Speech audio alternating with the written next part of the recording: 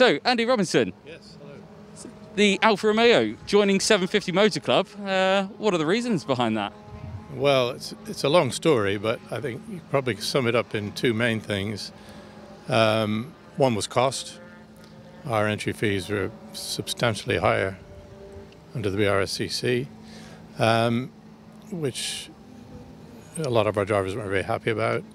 Uh, I suppose the second thing was um, we didn't feel we were getting a lot of support. We'd had a problem for a couple of years with um, low grid numbers. We were barely getting, you know, averaging about 16, 15 or 16, which isn't where we want to be. And we didn't feel we were getting any help at all in addressing that. In fact, some of the things the BRSCC did, in our opinion, made things worse. So, um, so I started talking to other possible clubs about a year, well, a year ago now, and um, eventually we got a, an offer to join 750, and we were put it to our drivers, 100% in favour. Not not one dissenting voice. No. Everyone wanted to, to come and join 750. Excellent news. And of course, the turnout for the first round here at Snetterton is, uh, it seems to be fantastic, doesn't it? Yeah, it's uh, 40% up on our our first race meeting last year. And maybe a number of factors of that. I think people desperate to get out again after a lockdown, but you know we've got we've always had a lot of drivers, but a lot of them just dipped in and out all the time, which meant we had uh, we'd have 35 drivers, but average 15 on the grid, which was but great turnout today, and we're hoping for the same again, obviously for the rest of the season. So. Yeah, of course. And, you know, we've, I was thinking myself, the atmosphere in the paddock probably at the moment, the fact that it's the first round back after such a long break. I mean, uh, have you been talking to some of the drivers? What's the atmosphere like with the teams? Uh, they, they can't wait to get going. They're loving it. It's you know, we've had one, qualifying. We've had one or two people with problems that make it love it a little less. But that's motor racing, isn't it? Um, but everybody's really chuffed to be here and looking forward to it. I've been, you know, talking to people all through the winter and the lockdown period, champing at the bit to get going. So yeah, the atmosphere is great. Excellent stuff. Well, thank you very much for talking to us. Uh, great to talk to you. And yeah, welcome to 750 Motor Club. It's great to have you here. Thank you very much. Great to be here. Excellent. Cheers. Ian Robertson. Starting to rise now. Anticipating as the red light goes on there, you can see on the pit wall, and away we go. Not a particularly brilliant start as we thought from the two front row men, nor the Mito either. That's a bit slow away.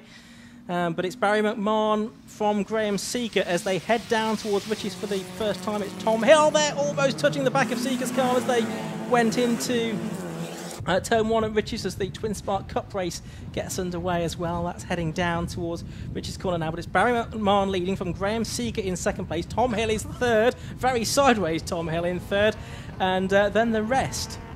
Without wanting to offend any of the drivers, I don't know anyone made a particularly great start, did they, Ian? So uh, all the uh, slower stuff was sort of negated. Uh, but everybody got away safely, and that is the main thing. So we can go racing for 20 minutes. Uh, Barry McMahon all by himself. It's a little flapping away, though, at the front of his car. Uh, then it's Seeger in second. St. Dubois there trying to come up the inside of the two uh, Power Trophy cars. But the sideways Tom Hill leads that in third overall. Yeah, and it's Dave Messenger just behind him, isn't it? I think in the 79 That, car. that time it was Seeger that got sideways and he loses momentum out on out on these two uh, Power Trophy car. Goes up the inside. Tom Hill up to second overall. Oh, I think Seeger's got a problem, possibly, because another bit of a mistake there as well as they went uh, through, through towards Coram Curve. And you've got the two uh, Fiat Punto Abarths that are battling away as well. So there is Tom Hill.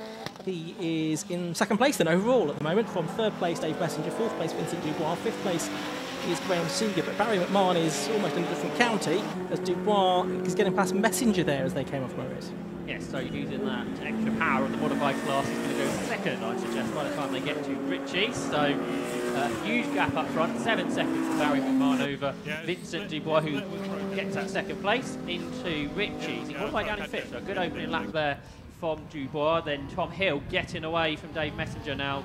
Uh, in that power trophy class as they make their way down into Wilson, a huge line and a spin now from Dubois. So it was a good first lap. uh, lap two not gone so well in the middle of the road. Hopefully everybody will avoid it. Yeah, I think uh, the, the sort of scatching and going one side or the other. There's Richard Thurbin in the Lancia Delta uh, Integrale, which is uh, just going through Chapman now, but yellow flags waved in the background with that car off at Chapman. And just as the twin spark cars were probably going to be heading there as well. And they were being led, I think, by Steve O'Brien at the end of the first lap. Notice the Mitos are pretty much at the back of the group, isn't it? Ricardo Lascelles, so he didn't have a great first lap. He didn't have a great start, did he? He was quite sluggish away from the line. We said none of them had a particularly great start, but his was particularly noteworthy. Now there's 86, which is Andrew Bourke, and he has been a runner-up in the championship in the past, and he has just found his way past the number 21 car of Simon McPhee. So that's Andrew Bourke, number 86 and he is one of the Twin Spark Cup cars, and is he actually the one that's now leading that class? Try and work that out. There's Barry McMahon, just gone through to complete his second lap. See the splitter flapping away there on that car. Yeah. Hopefully not a problem. Very low to the ground as well, isn't it? Oh. There's the Integrale. There's the Mito just in behind as well. Oh, and straight over the grass there goes number two. That's Gethin Llewellyn driver from Reigate, who's uh, got Murray's all wrong, but managed to avoid too much damage and has been able to, to rejoin the race. He was running in 16th position, I think. Initially, he gained a load of places there, but I think he'll lose them again down the centre straight. Yeah, there's the 55 car, which is uh, that of uh, Scott Austin in the Alfa 155, the driver from Watford. This is the XCN Brookfield car. Got a new Fiat 5-cylinder 20-valve turbo engine for, uh, for this year. Graham Seeger goes second there down the uh, Bentley Straight, getting that away from Tom Hill. In different classes they are though. Uh, Tom Hill leads his category by about a second over Dave Messenger. As he hops over the curb there on the inside. As Just is pulling away from Messenger. Then you've got Scott Austin uh, there chasing. He's in the qualified class by the way? In that retro 155 steady. Uh, so there, there is uh, Seeger. He's making his way through. He's now already sort of a quarter of a minute behind the race leader uh, Barry McMahon. And yeah, I think, yeah, looking at our screen, I think it's actually um, Andrew Bork leading the uh, Twin Spark Cup rather than what's showing as our screen as Paul Keynes. I think that's actually uh, Andrew Bork, isn't it? Gethin Llewellyn's on the grass again, so that's twice in at least two miles. Uh, so perhaps he's done some rally crossing in his car, he's doing it today. Uh, Gethin Llewellyn was 16th still at the end of the previous lap. Good battle that he's amongst. He's head number six, which is Simon Cresswell, as they make their way uh, through Murray's to complete another lap. This Is the battle for the lead of the class? I don't think it is, because I think that Carl showing on our screen at 75 Paul Keynes is actually, I think that must be uh, Andrew Bourke. Uh, so there's a, a, glitch on the timing there, possibly, is the, what's going on there. But here's Gethin Llewellyn. Uh, and this is the car that John Billingsley took to a couple of wins here, I think, last season in the Twin Spark Cup class. But he's got just right behind him now, number six, which is Simon Creswell in another 156. Under brake now for Wilson, and then they will turn their way into the left-hand kink at Chapman that brings them onto the Bentley Straight.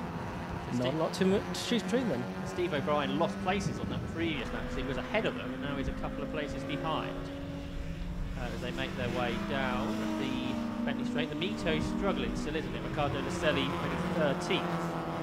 not really making progress, unfortunately. Here are this group of twin spark cars being led by Gethin Llewellyn over Simon Cresswell, two ahead of sixth. Meanwhile, the leader, Barry McMahon, has completed lap four, 1 minute 19.8. His new fastest lap of the race. The back to the battle heading towards the end of lap, half 23, you see there, of James Ford. Yeah, uh, still got another couple of tenths or so to get the lap record away from Eddie Hawkins, 119.593, the lap record from uh, several years ago. Again, the 200 circuit, not actually that used that often these days at, at Snetterton, so the Alfas have raced it all that often. But look at this, a challenge it now for uh, the position within the Twin Spark Cup class because number six, Simon Cresswell, trying to get alongside Gethin Llewellyn as they come along the start and finish straight, dives back into the toe. You've got Simon, uh, you've got James Ford right in there as well. Another regular uh, front runner in the Twin Spark Cup class as they turn their way through Riches corner now and up towards uh, Wilson. Uh, changed just a little bit further back, and that was the battle involving, I think, Steve O'Brien and uh, Richard Ford. Gethin Llewellyn's car's very dramatic through the corners. So that's the setup that's pitching the car sideways at every opportunity, but he's keeping it on the tarmac keeping it ahead of Simon Cresswell. Meanwhile, here are the two Puntos. Chris McPhee is ahead of Simon currently, but good battle between them. Yeah, always uh, providing some good entertainment. Of course, these, this type of car has had its own one-make series in the of Ireland. Primarily, a few of these cars have, uh, have made their way over, and uh, they make very good value, budget uh, tin top racing, uh, and very welcome they are within the Alfa Championship. As, uh, not guess they do score points, but uh, there's no Alfas there indeed. So we've had, have we had? About seven minutes or so of this race now. I've got black and white driving standards flag going out to somebody. We'll try and work out who that is in just a moment. The board is out there, but we can't see the number on it at the moment. Richard Thurbin not making the progress that he would have hoped in the Lancia, is he?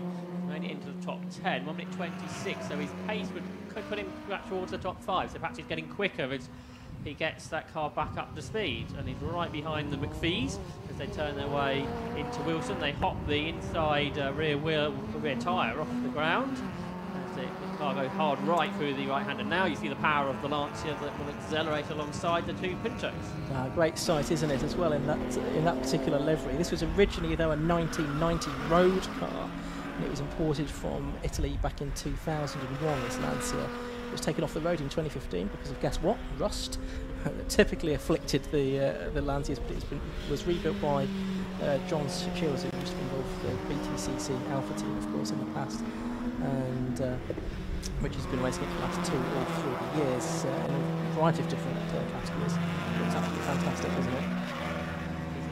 Past the though, so I'd suggest it's not running as they would like, but it's running, so that's more of an improvement over qualified, I think. qualified the slowest car of anybody.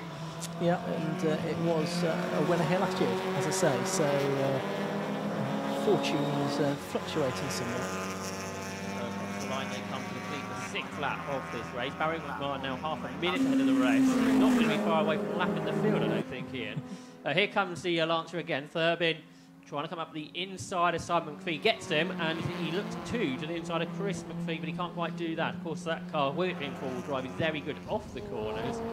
But today, the acceleration at the end of the straights in isn't what it would he'd like it to be. Certainly not. No, not not uh, not quite where it should be.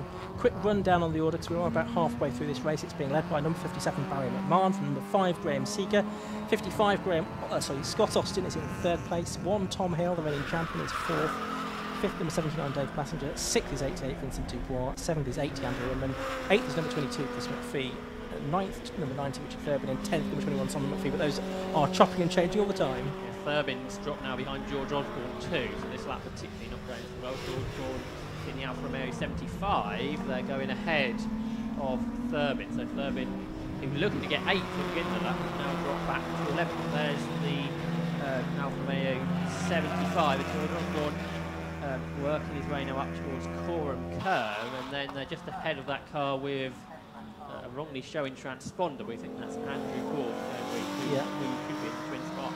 Yeah, and I think he was leading. We did see him in that sort of the circuit a little bit earlier on. It's a long way ahead of the others. 20 like seconds. Jeff Well in second, James Ford third, and Simon Cresswell in fourth.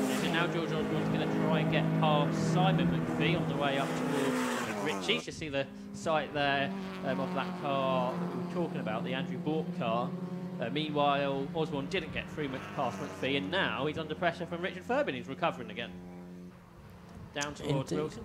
Yeah, he is, and he's just uh, attacking that 75 of George Osborne and outright wins at Plantagenet Silverstone in 2019 in the number 34 car. Now he's going to re-challenge Simon McPhee again. See if he can make it work this time. A bit more power. Uh, Richard Thurbin trying to do similar. George Osborne is in the same class as the Fiat. Thurbin in the modified class, so they're all power trophy cars around them. And Simon McPhee loses out because he loses two positions.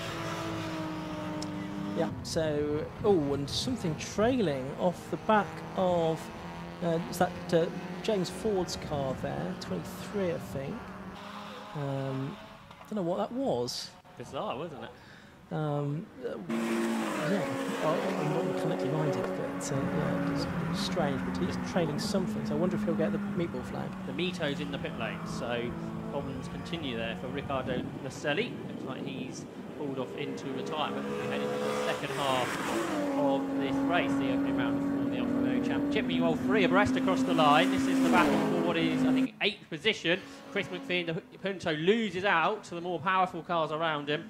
The uh, Alfa Romeo 75 has Richard Thurbin go right round the outside. And Thurbin's passed them all now in a lap. So where, what, a lap or two ago the car was struggling, it's come back on again. He's found found the on switch by, by the looks of it, hasn't he? Because that's a sudden dramatic change in performance. Jordan Osborne making his way ahead of those Fiats as well. And then it's Barry McMahon just behind them, isn't it, as we watch uh, the Mito Uh, in the pit lane, unfortunately. So that's out of the race. There's Graham Seeger just going for a shot. He's still in second position. And Tom Hill still third, I think. There's the Mito. Is that heading back out onto track? It is. Yes, it is. So checking out the window. We haven't seen much of this car in the race, have we? It's the race leader, Barry McMahon's Alfa Romeo 156. All touring car spec, making its way down And now he's rear diffuser flapping on that too now as well. Uh, I think it's running okay. Last lap, 1 minute 21, a couple of seconds away. But he's about to lap that car he battled with here just a year ago in the Richard Thurbin last year. Yeah. Okay, so uh, Richard Thurbin won the second race here last year, believe. And there is the black and orange flag, uh, and I think that must be to James Ford as we, we possibly thought, the number 23 car with bits dangling and trailing behind it, rather dangerous, and will need to be attended to. So there's Barry McMahon, who has completed, what, 10 laps now? Yeah, and he is on his way through Riches once more. He's put a lap then on um, Richard Thurbin. He's putting a lap now on Andy, Andy Inman as well, number 80. The, the Thurbin car going much quicker now, though, in a 1 minute 25, which will put him up with the podium position cars. So I suspect if he continues in that direction and get past Andy Inman for seventh very shortly. Yeah, Andy Inman in the Revs Alfa uh, prepared car, a long-standing competitor in the uh, Alfa Romeo Championship. He's already lost that place to Thurbin, who was a couple of seconds behind at the line. So the Lancia are really going strong now. It certainly seems that way. Now there is, uh, well, there's six, which is Creswell, and he's just behind. That is the James Ford car that was trailing something, wasn't it? Which doesn't now appear to be. So whether that's just dropped off, quite sure. Looks like there's a wheel mark down the door of number six Simon Creswell, doesn't there? Which suggests that there might have been contact at some point uh, along his way during the course of this race in the Bianco prepared machine. Pretty dramatic that uh, twin spark category there half a minute behind Andrew Borg. So I presume Borg's still in that category. He's a long way ahead of the rest. Um, as they make their way down the uh, Bentley Straight, being led this battle by uh, Gethin Llewellyn, just being lapped by the second place overall, Graham Seeger. Uh, then, if you say James Ford there in 23 behind, but that's been a race-long battle between this group of cars. A really good battling within the twin spark category. Three quarters of the way through this race now, 20 minutes uh, race, 15 minutes have already gone by We're getting towards the end of the first of two races today for these cars. Double header to start the season. We've got a triple header at Anglesey in a couple of months' time, as we mentioned. There's Gethin Llewellyn, just behind him, James Ford just behind him, Simon Creswell. And head out of Murray's onto the start to finish straight once again. And that is probably the black and orange flag for the car that we've just seen, James Ford a bit now. I think the reason for it is probably gone, but if it's still being shown, he does still need to call to the pits. There he is, turning to Rich. They're all being closed in, aren't they, by Richard Ford, car number nine. So that is going to be a four-car battle. They make their way down to the Wilson hairpin for, for what these cars on their 11th lap of the race. They keep tight up over the curb. They're soon to be lapped by the third place car of Scott Austin. In fourth and fifth place together, Tom Hill has got Vincent Dubois uh, all over the back of him, but they're in different classes. Tom Hill's still got a decent lead in the Power Trophy over Dave Messenger. Meanwhile, in two are still battling away. they have been all race long, haven't they? Chris McPhee ahead of Simon McPhee at the moment. They are going to complete their 10th lap now, I think. Yes, they are. And so, uh, even possibly 11 laps now. But uh, almost side by side into to Riches corner. Great uh, fight going on in the Southgate Racing entered and uh, tended cars. Down towards the Wilson Heaven they go. Simon trying to outbrake Chris as they go round Wilson. He was on the outside line though, and he couldn't do anything about that. Really evenly matched, and it would have been great probably back in the day, not that many years ago, to see a full grid of these cars racing around Mondello. Uh, Simon lost a little speed on uh, the exit of the corner, so that might let Chris break away a bit. I'm sure they'll be back together in no time at all as they make their way down here into Brundle. Actually, I think they're already back together again. So, not sure if these two cars have ever seen a party in, in their history of their racing life. Certainly not been out of the same shot in this race, have they? So it's been uh, it's been pretty close between them, and they are competing for the final place in the top ten overall as well. So there is uh, a certain amount of pride to be uh, to be won here. Vincent Dubois has got fourth now, by the way, ahead of Tom Hill.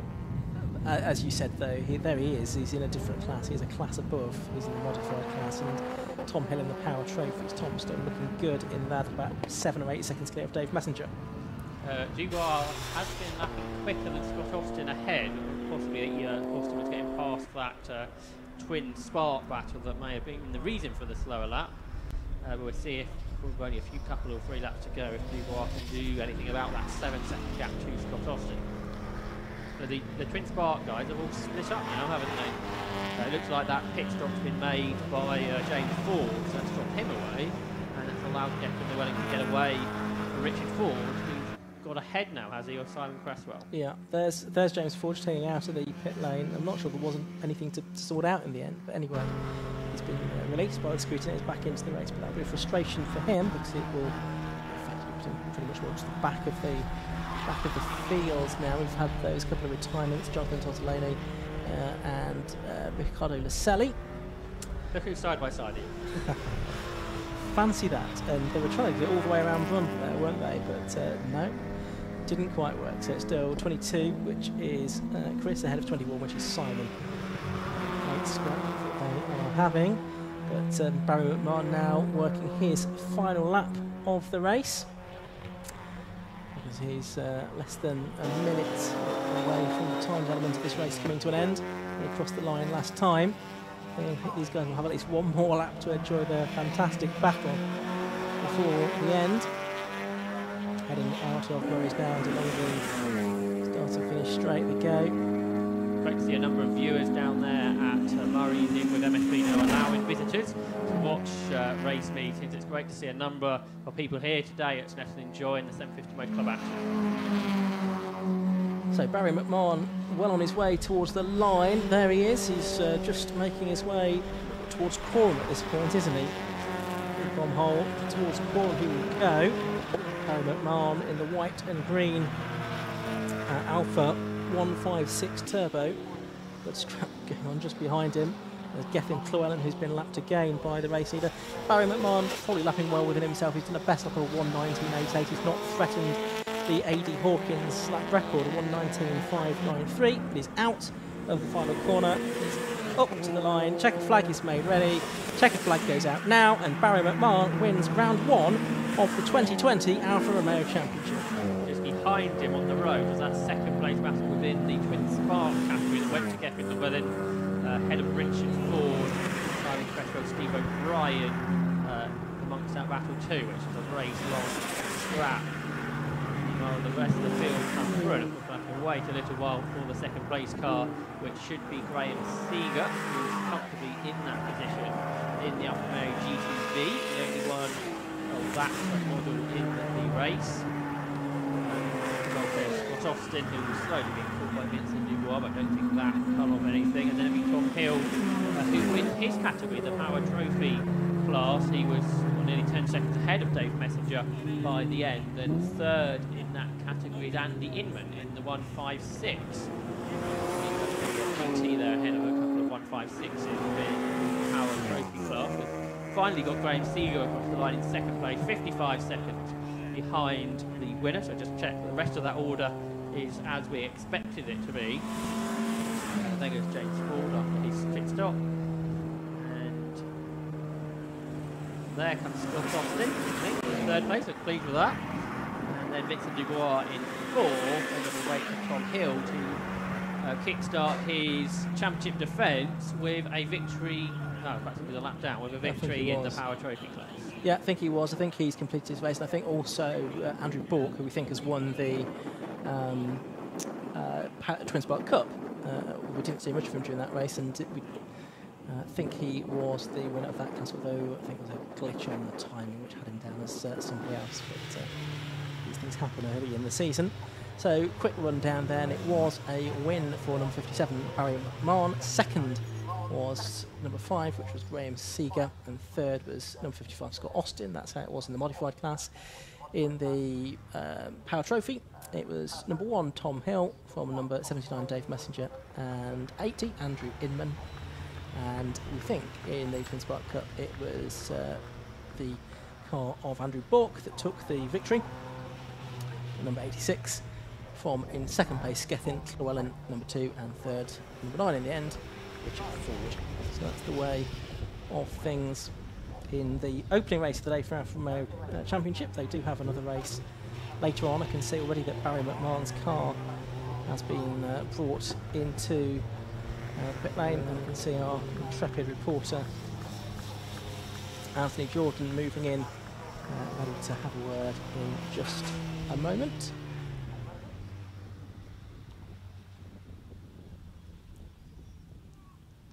So think we're probably just about ready to go down there now. So uh, next voice you hear will be that of Anthony Jordan talking to Barry McMahon.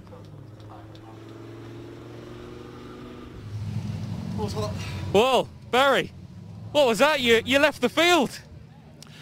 Thank you very much. Yeah, the car's going really, really well this year. We've had it uh, rebuilt over the winter. Obviously, we've had a few additional months and um, very, very happy. Uh, I think we've got a small problem with the splitter, so it was a bit of understeer. Uh, but ultimately get that repaired for the next race and see if we can break a lap record. I did say as you pulled in there, there was a, a mighty knock from the uh, the splitter as you uh, just pulled up here. It is hanging off on one side, but like I say, even with that slight bit of damage, pulling such a huge gap from second place was incredible. Yes, thanks very much. Uh, the, the guys from uh, Owen Developments and uh, Horsepower Factory have built a really good car, so uh, very, very impressed. Excellent. And of course, it's your first time back with 750 Motor Club. You've just come from uh, obviously the BRSCC. How is it comparing? Uh, ultimately, it's uh, not a lot of difference. Um, very happy with what we've got so far, and uh, long may continue. I think we're very happy with uh, the 750 Motor Club. Excellent stuff. Well, again, huge congratulations on a dominant win, and uh, best of luck for the second race. Thank you very much. Catch you soon. Yeah, cheers.